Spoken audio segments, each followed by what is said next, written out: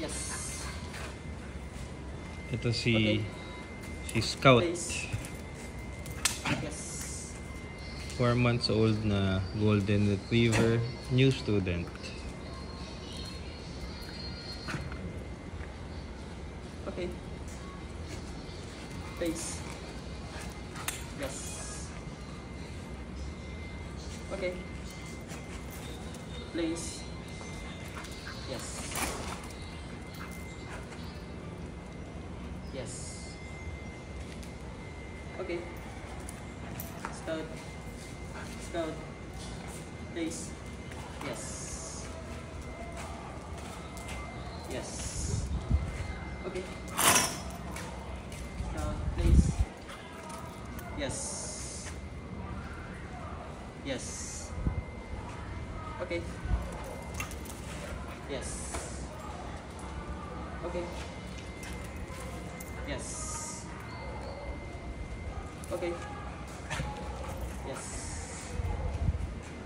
Yes. Okay. Stop. Stop. Sit. Yes. Okay. Stop.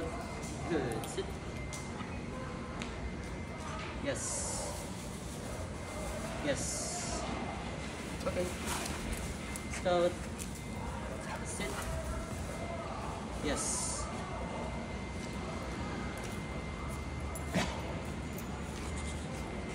Sit.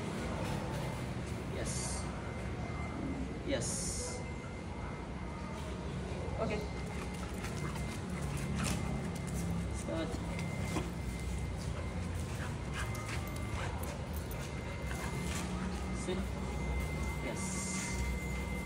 Mabilis ma-distract to. Okay.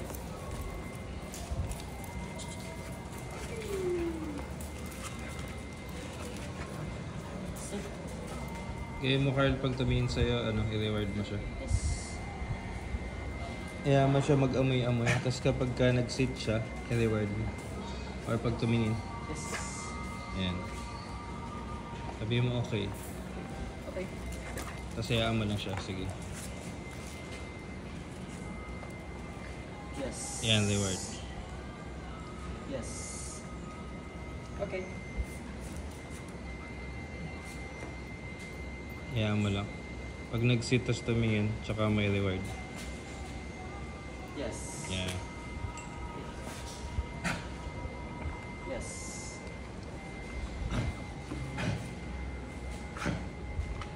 Hindi ka kasi lunok na lunok.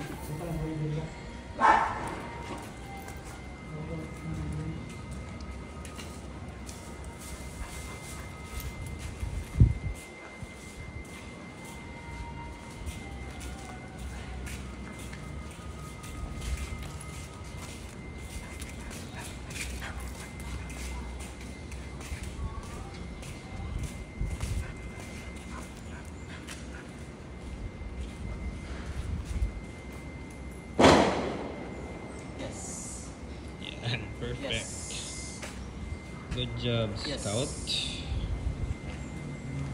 Okay.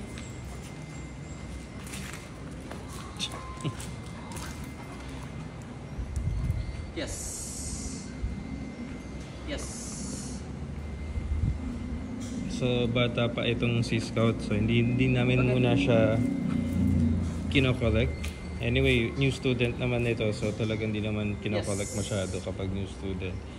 Yes. Pero yung jumping niya, napansin niyo no? Nagla-lunge siya. Okay. Tinatalunan niya si Carl. So, what we do with that is nothing. Yes. We just ignore and then wait kapag nag-sit na yung dog. Okay. Then, we can reward the dog. So, at this point, uh, tinuturo lang namin sa kanya Yes. na yung pagtalon-talon niya does not help him Yes. get the ano the food Okay. earlier.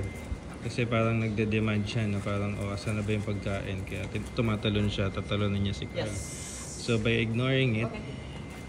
um, and waiting for the dog Yes. to give us the correct behavior, which is yung nakasit and nakatingin, natututunan niya na hindi pala effective Yes. yun. Ang effective pala is, upo na lang ako, hindi ko na Okay. siya tatalunan.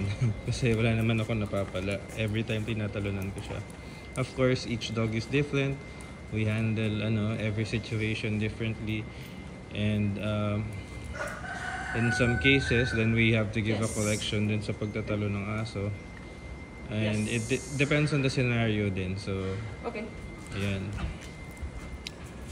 Pero baka din in the future we will have to correct Yes. this dog. Lalo na kapag kakalabas lang niya ng cage, no? Ah, Okay. Yan yung mas ano niya. ah, hindi, parang mataas na energy na ano. Kapag kakalabas lang niya ng ano, ng kennel niya. Nahirapan siyang kontrolin yung sarili niya. Pero it's understandable kasi it's only ano, a 4 month old puppy. So it's normal.